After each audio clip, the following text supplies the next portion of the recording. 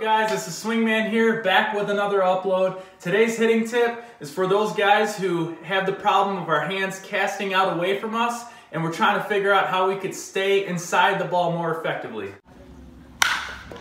Alright, to start off, uh, first I'd just like to go over some of the issues with casting our hands. Now, basically our goal as a hitter is to make sure that this part of the barrel, which is our sweet spot, stays on plane with where that ball's coming in uh, as long as we possibly can. If we could keep our sweet spot on that same line, then we have better chances of hitting that baseball hard.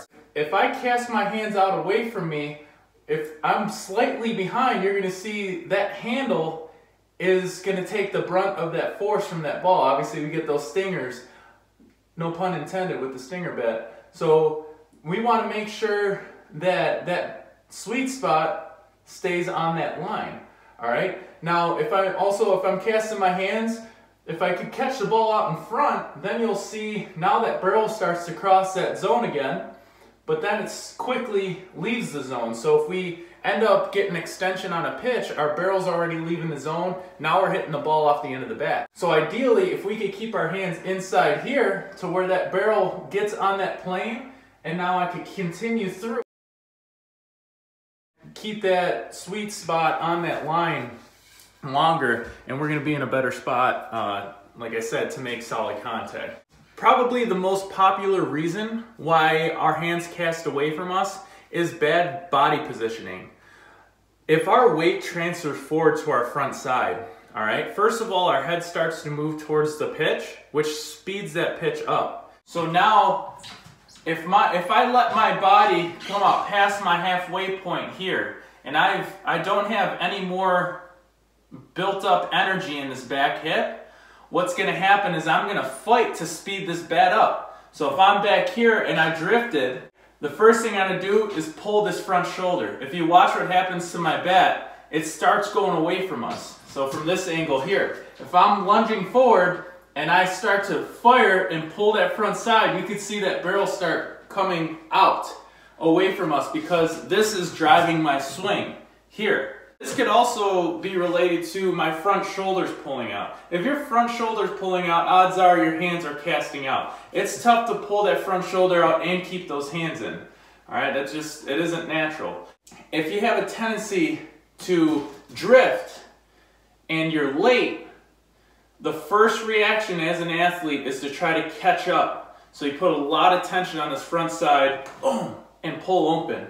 Barrel comes out, then, you know, if we don't catch that ball out in front here in that small zone we have where this barrel's crossing that, that hitting zone, then we're screwed. So we're jammed or off the end if we're too far out in front.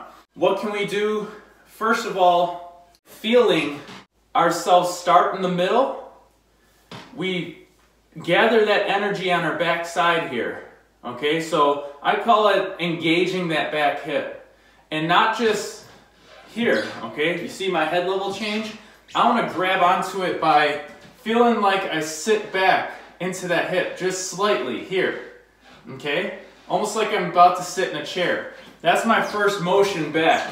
Boom. Once I engage that, I hold that through the whole process. So as soon as I land my front foot, I'm holding onto that side to keep myself from drifting forward. Now I could fire that backside, and if I fire this backside, you can see it's easy for me to keep my hands inside the ball and then drive through. Okay, so from this angle, I'm here, I grab onto that engagement of my back hip, now I fire the hips, and you can see my hands are able to stay inside the pitch here.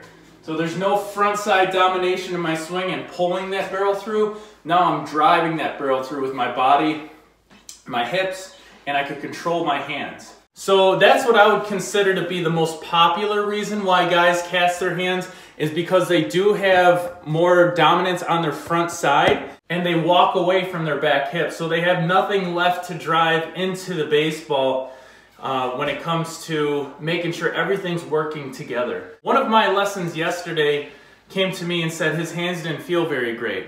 Okay, so if your hands aren't feeling good, if they feel disconnected from your body, you can't, you, you feel like you don't have much on the ball, I'm telling you, put more focus on engaging that back hip to allow yourself to land in a more aggressive position where everything's working together. If you leave that back hip behind, a lot of hitters, when they step with their front foot, they leave their back half behind. So their back leg almost straightens out. They're not engaged, they're not aggressive with that back hip. And right from that point, it's a fight to get our hands to the zone. And that's when your hands feel slow. You, you know, you feel like you lost your confidence in being able to drive the ball. You're not getting that loud crack to the bat. So really, I'm telling you guys, that is such a big part of your swing and making sure the whole chain works together and allows your hands to work. So that would be my number one thing I would I would go to when it comes to trying to prevent ourselves from casting. So some things we could do as far as upper body drills uh, to focus on keeping those hands inside. I'm a big fan of one hand drills. Okay, we could choke up.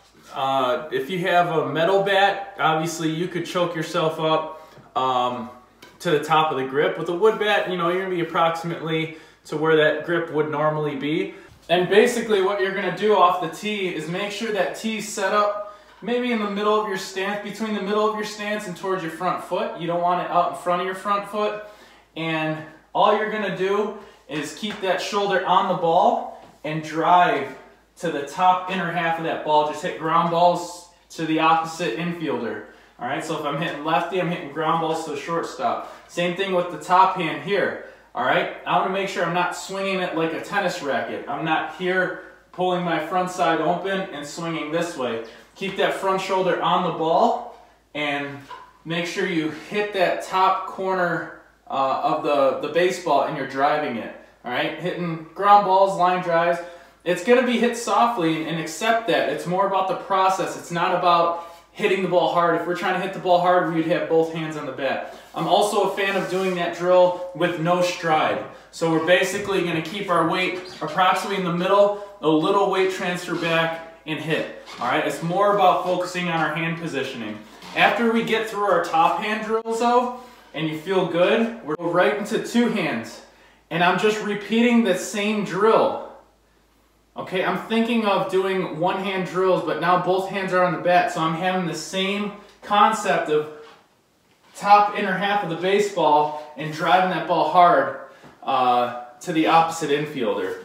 So this is a great way to train ourselves and how our hands should work, okay? And it, it may seem cliche, your coaches may tell you, you know, start your first round opposite field, uh, for those of you that don't, don't understand why, it's all because of bat path, all right? If we could work consistently opposite field, um, I like to use opposite field gap, not the line, the gap, all right? If you could consistently do that in your first couple rounds of batting practice, whether it's one hand or two hands, uh, then you're gonna keep that barrel on path. So now when you start working inside, we're not casting around and yanking the pitch.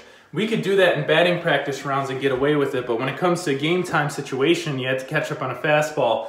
Um, it's really tough to make solid contact if you're casting your hands. Hope this video helps you guys.